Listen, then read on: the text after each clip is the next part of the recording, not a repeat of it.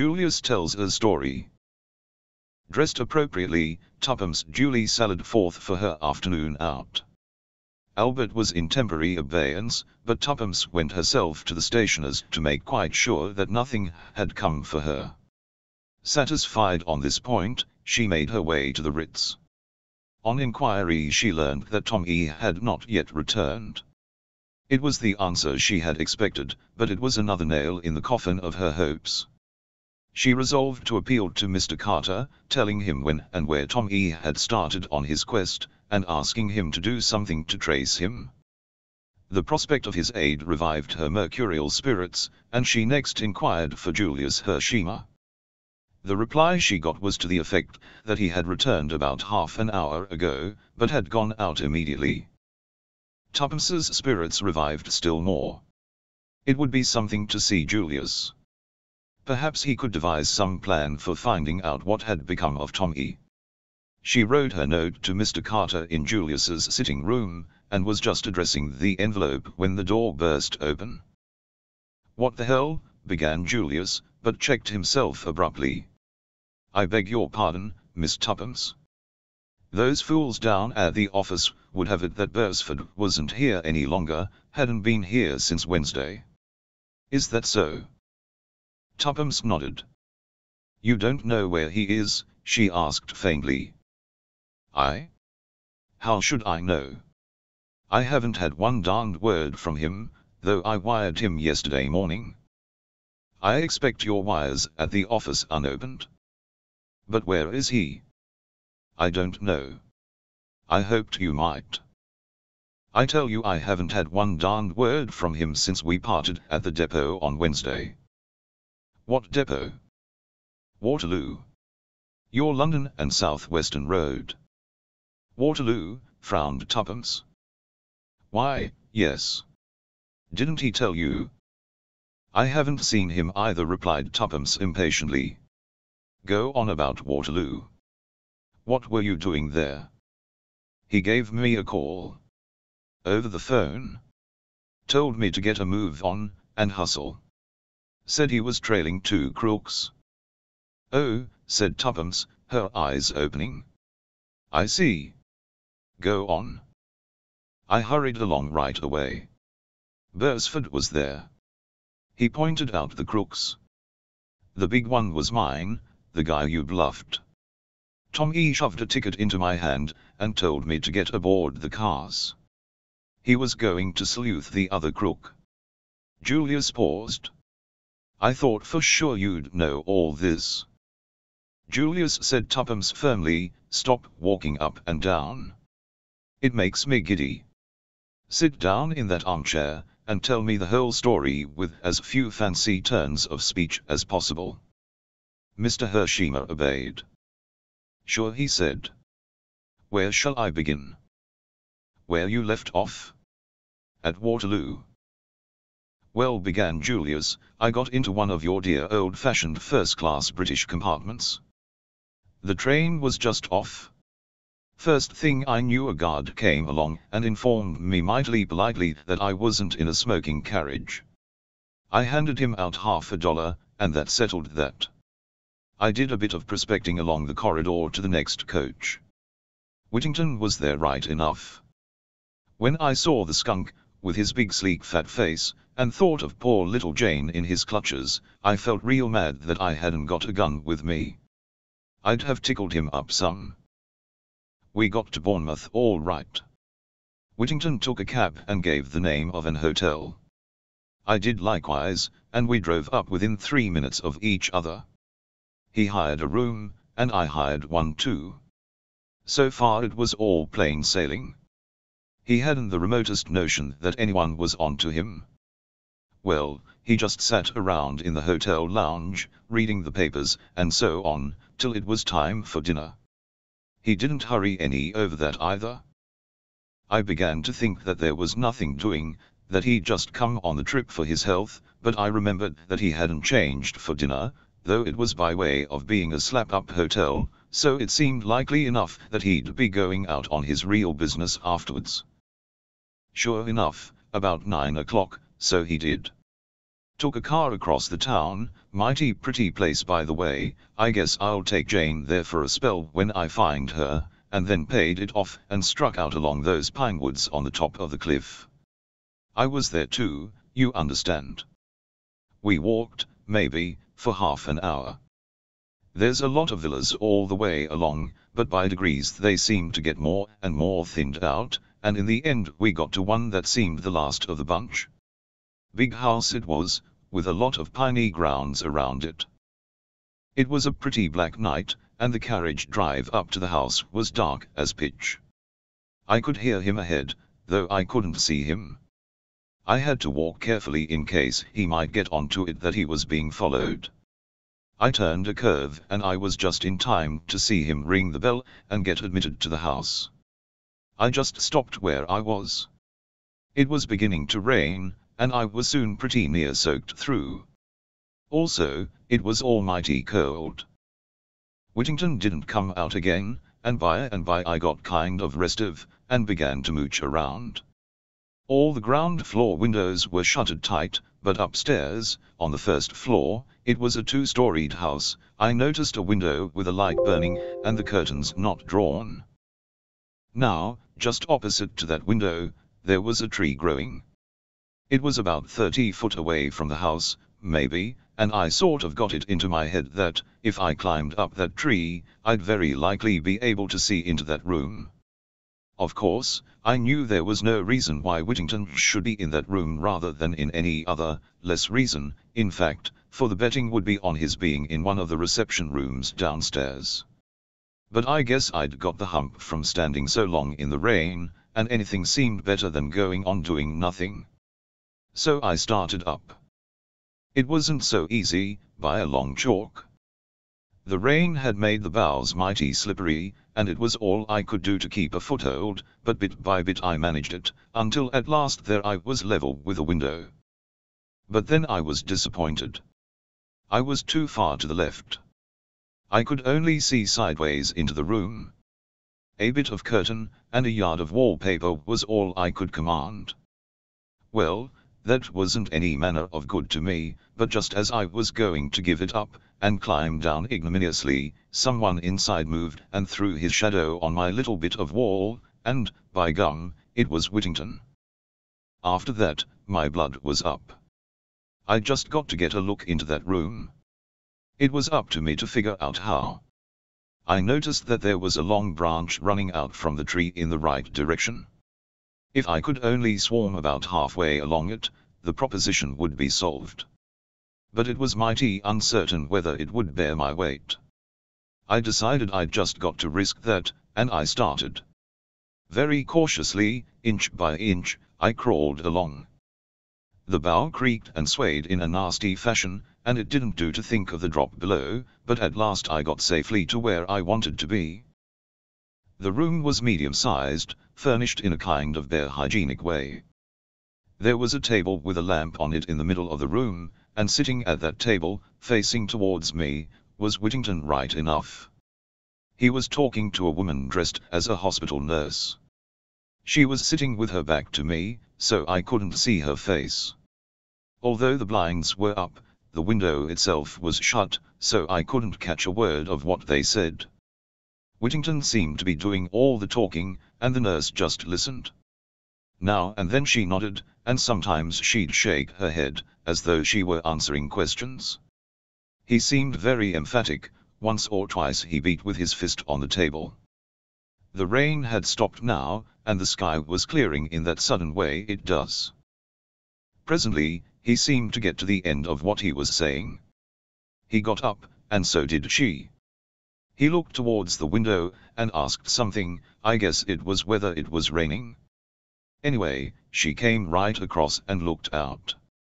Just then the moon came out from behind the clouds.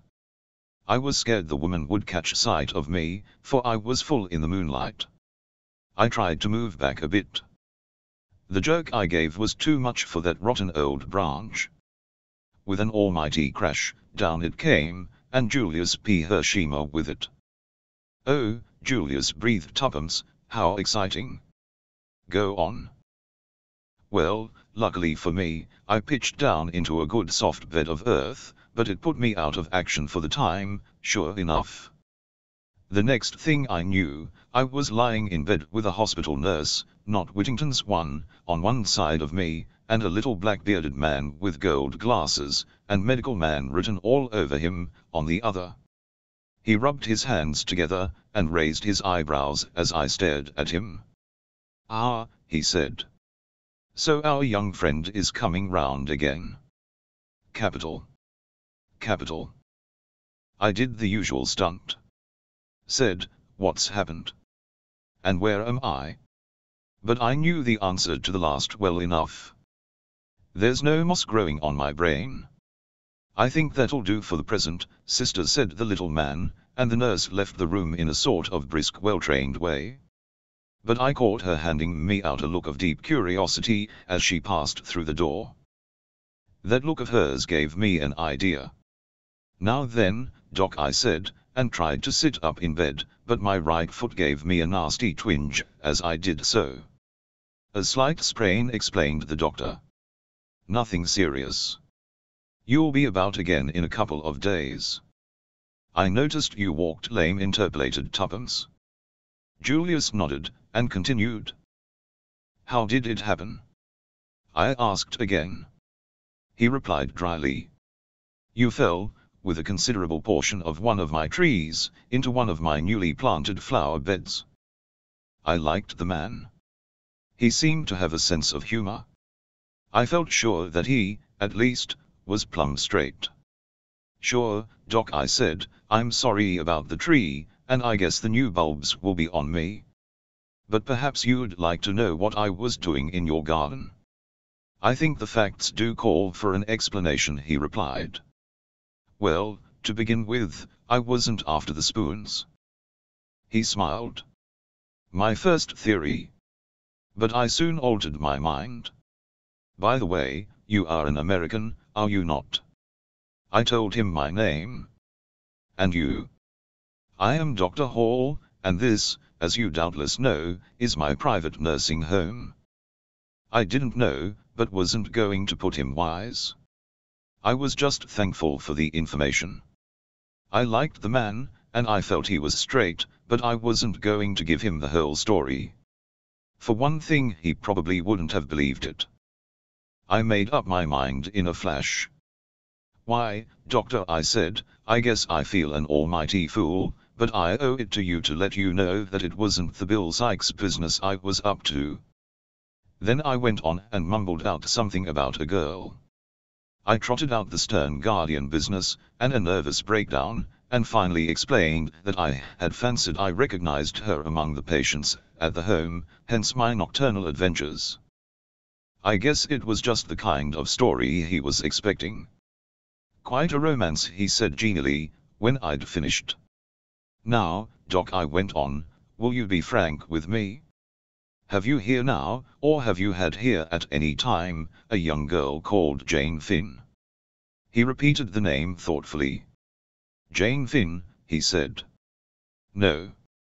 I was chagrined, and I guess I showed it. You are sure? Quite sure, Mr. Hersheimmer. It is an uncommon name, and I should not have been likely to forget it. Well, that was flat. It laid me out for a space. I'd kind of hoped my search was at an end. That's that I said at last. Now, there's another matter. When I was hugging that darned branch I thought I recognized an old friend of mine talking to one of your nurses. I purposely didn't mention any name because, of course, Whittington might be calling himself something quite different down here, but the doctor answered at once. Mr. Whittington, perhaps. That's the fellow, I replied. What's he doing down here? Don't tell me his nerves are out of order. Dr. Hall laughed. No. He came down to see one of my nurses, Nurse Edith, who is a niece of his. Why, fancy that. I exclaimed, is he still here? No, he went back to town almost immediately. What a pity. I ejaculated. But perhaps I could speak to his niece, Nurse Edith, did you say her name was? But the doctor shook his head. I'm afraid that, too, is impossible. Nurse Edith left with a patient tonight also. I seem to be real unlucky I remarked. Have you Mr. Whittington's address in town? I guess I'd like to look him up when I get back. I don't know his address. I can write to Nurse Edith for it if you like. I thanked him. Don't say who it is wants it. I'd like to give him a little surprise. That was about all I could do for the moment. Of course, if the girl was really Whittington's niece, she might be too cute to fall into the trap, but it was worth trying. Next thing I did was to write out a wire to Beresford saying where I was, and that I was laid up with a sprained foot, and telling him to come down if he wasn't busy. I had to be guarded in what I said. However, I didn't hear from him, and my foot soon got all right. It was only rigged, not really sprained, so today I said goodbye to the little doctor chap, asked him to send me word if he heard from Nurse Edith, and came right away back to town. Say, Miss Tuppence, you're looking mighty pale. It's Tom E said Tuppence. What can have happened to him? Buck up, I guess he's all right really. Why shouldn't he be? See here, it was a foreign-looking guy he went off after. Maybe they've gone abroad, to Poland, or something like that. Tuppence shook her head. He couldn't without passports and things. Besides I've seen that man, Boris something, since. He dined with Mrs. Vandemeyer last night. Mrs. Who? I forgot. Of course you don't know all that. I'm listening said Julius, and gave vent to his favorite expression. Put me wise. Tuppence thereupon related the events of the last two days. Julius's astonishment and admiration were unbounded. Bully for you. Fancy you a menial. It just tickles me to death. Then he added seriously, but say now, I don't like it, Miss Tuppence, I sure don't. You're just as plucky as they make 'em, but I wish you'd keep right out of this. These crooks we're up against would as soon croak a girl as a man any day. Do you think I'm afraid, said Tuppence indignantly, valiantly repressing memories of the steely glitter in Mrs. Vandemeyer's eyes. I said before you were darned plucky. But that doesn't alter facts.